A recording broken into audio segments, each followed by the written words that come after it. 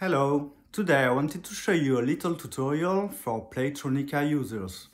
It's a brand of MIDI controllers and they do the Playtron and TouchMe, the one we're gonna use today.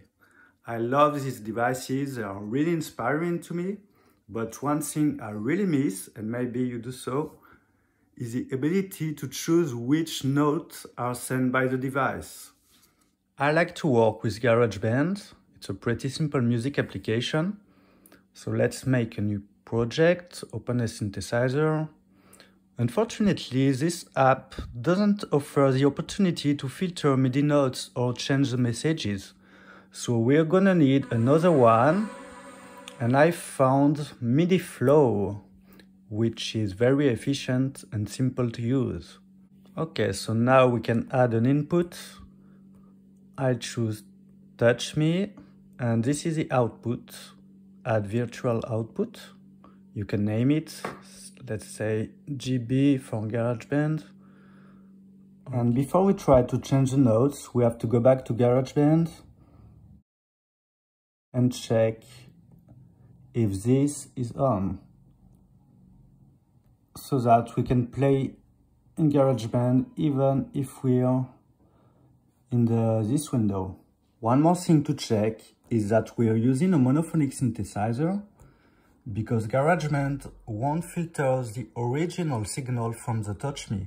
So if I take a polyphonic sound, it will play both the original MIDI notes and the modified one. So let's try this one, for example. Let's go back to Midiflow so we can test it's working. Here, if you take this, you can see which note are played.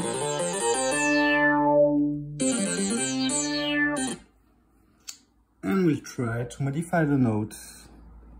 So let's try, for example, to play upper notes.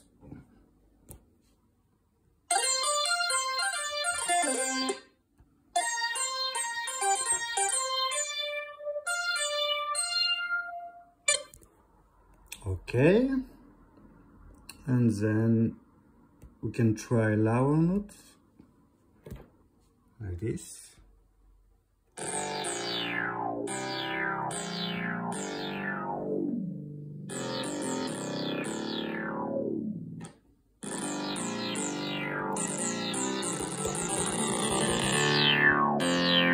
And that's it. Thanks for watching I'll try to make more tutorials in the near future. You can check my Instagram, YouTube, SoundCloud, and so on if you want to listen to my music and see more experiments, especially with Playtron and TouchMe. Thank you, bye bye.